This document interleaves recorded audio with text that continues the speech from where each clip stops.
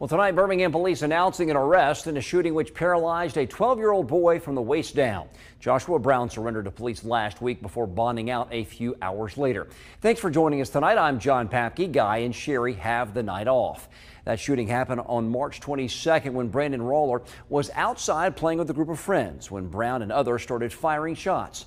Roller was hit trying to get away. WVTM 13's Aaron Llewellyn is live tonight. Aaron, you talked to Roller and his mother tonight. The arrest bringing more questions than answers, correct? Yeah, John Brandon Roller's mother, Courtney Chesner, says that it's hard to know that an 18 year old is sitting behind bars tonight after shooting her son and almost taking his life. As she says, those shots that were fired changed her family's life forever, but she still can't figure out why someone would have shot her son. Justice is finally one step closer to being served for 12 year old Brandon Roller. I didn't care. Birmingham police announcing an arrest in connection to a March shooting that left Roller paralyzed from the waist down. It took too long, and I still can't walk, so it doesn't affect me.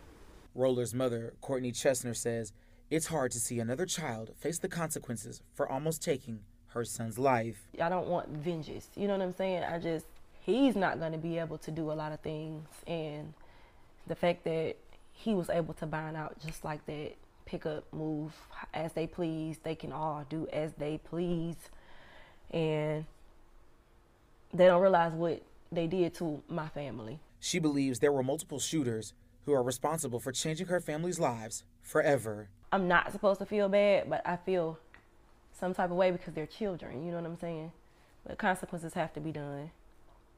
I just wish that he didn't bind out the same day and she hopes more arrests will come to hold each person accountable.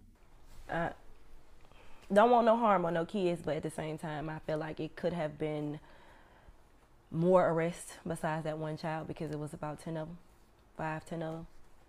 And um, they had multiple guns. So her and her family can get answers to their questions and continue their journey to heal. I want to hear, I'm sorry. I don't want Facebook to have their narratives. I don't want the police to have their narratives. I don't want just people in the world to have their narratives. I want to know they're sorry. But until then, Chesner and her family are moving forward, with Roller being the glue that holds them together. He is our strength in this household.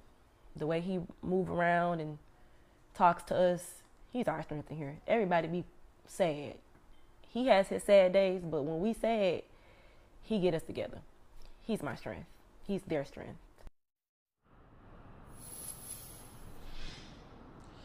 Now, now earlier tonight when I talked to Roller, he tells me that he's going to be starting a new school in the fall. He'll even be in the band where he's going to play trumpet.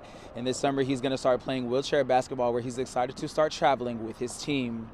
Live in Birmingham, Aaron Llewellyn, WVTM 13.